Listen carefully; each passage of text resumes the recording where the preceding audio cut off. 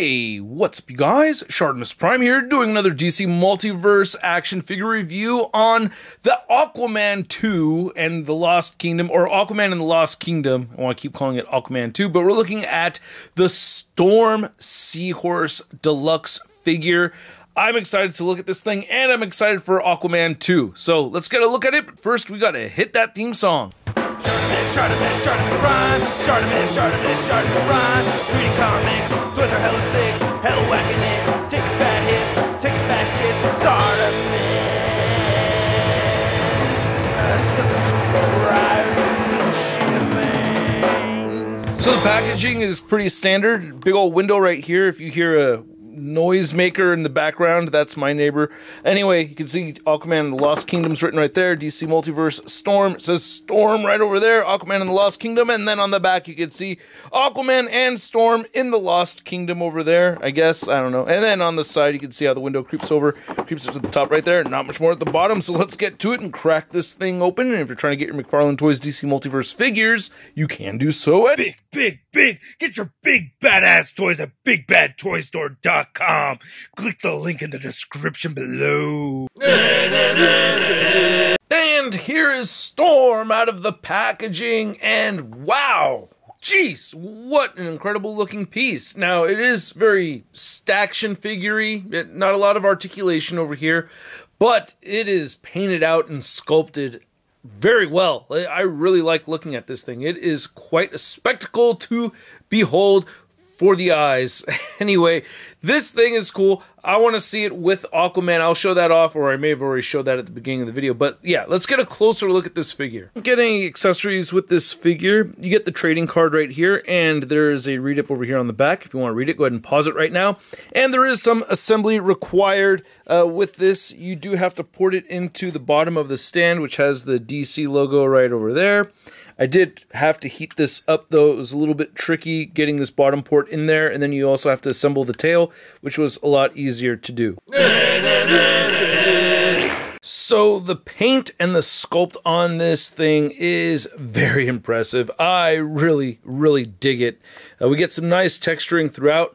Now this headpiece is painted gold, uh, but the rest of the gold that you see on this figure is actually just the plastic. So they don't have the gold going throughout, but man, uh, this thing is not shy of having paint apps or anything of that sort because it is just loaded with all kinds of fading going in and out over here. I really love seeing the teal and purple moving throughout on this thing. It is very, very cool, man. And then you can see we get that gold plastic right here, which looks all right. It's just not as shiny as it is on the headpiece right there. So that's a minor gripe for me. Uh, it's fairly soft material. There's no articulation at the torso, but you can see all that paint, all that beautiful sculpted work right here. Just looks incredible. I am very pleased with that. Looking at the green right over there. Then you can see the underbelly of this sea dragon.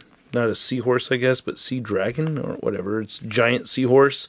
These fins look awesome. Really love the blue fading in and out right there from the white. God, this thing looks awesome. Just a dope looking piece. I wish this had bendy wire in it. I do love this paint though right here. That looks sick. But yeah, if there was a little bit more going on as far as articulation, that would have been uh, preferred. I definitely love my articulation. Then just getting full look at the underbelly of this thing. Man, very cool. And then there's the saddle right there. You have the strap right here for Aquaman to grab. Very, very neat. I really like it. And it does have some articulation as well. Man, look at that gold eye right there. That's pretty cool too. So you can rotate the head. It is on a ball joint and you get some pivoting over here as well. Moves up and down. So it is on a double ball joint. So you get the ball joint there and inside the head. So it does kind of shift forward and back like a pile driver and pivots and rotates. So that's the most movement you're getting from any other articulated section on this. The fins move up and down. You can splay them outward a little bit though, so that's pretty cool. And then you get rotation at the tail, and then we have a ball joint right here at the body or at the base of it right there. You can pivot a bit and it moves up and down side to side. Now to measure out Storm, to get the height of this thing down here, you can see it's at about 14 inches tall on the base, And then from nose to the end of that tail, you're looking at about 13 inches across. And then for a fictional creature comparison, here we have an Avatar Banshee next to Storm. And yeah, I mean, the wingspan on the Banshee is just way wider than it is on the length of the Storm figure. But yeah, their color schemes are very similar over here, right? I don't know. Very, very cool. McFarlane has these creatures down really well with their sculpts and paint, man. Really good looking pieces. And then here's Storm next to the other Aquaman 2 figures that I've already reviewed. We have Aquaman, King Kordax, Black Manta, and Stealth Aquaman. And I will show this Aquaman riding uh, this Storm figure. It's very easy to get him up there, and I don't have a gripping hand on there right now, but you could just, you know, make believe like that. Very easy to do very, very cool. Then here's Storm and Aquaman. Next to your average 6 inch scale figure, we have the Marvel Legends Big Time Letdown Spider Man. Whoa, that thing looks awesome! Oh, I want to ride the seahorsey. I want to ride the seahorsey. I want to ride the. Ah! You guys enjoyed this video. I enjoyed making this video. This thing was a lot of fun. If you enjoyed the video, hit that like button. If you're new here, hit that subscribe button. And thank you very much for watching. Pretty short and sweet video. Not a whole lot to say about this thing aside from me just really liking it a lot.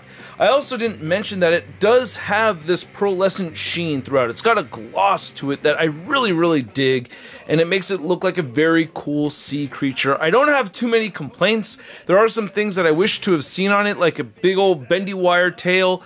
That would have been pretty awesome. Getting gold paint on the armor on the front of it would have been pretty cool, you know, for that whole chest plate section right there, or the saddle anyway. That would have been nice as well, but you know what? It's still pretty shiny and it still looks good to me.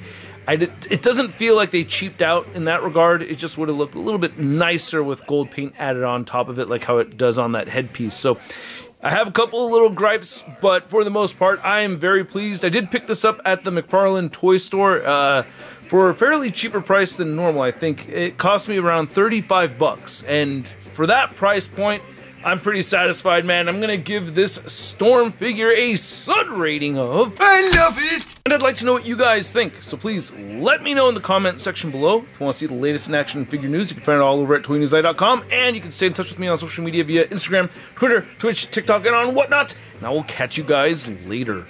Peace! That's crispy. Hey, what's up, guys? Shartimus Prime here. Hey, Century Productions here, and we're talking about Hella Sick Figs. That's right, we're going to be talking about new Marvel Legends and a whole bunch of other goodies. Come through to the live stream Saturday night, 5 p.m. We'll be closing off at around 6 p.m. Let's get this thing started and talk about Hella Sick Figs. Tune in. Hey, I'm new Shartimus Prime videos. Hey, you should click one. Click on one of them. Or subscribe if you haven't.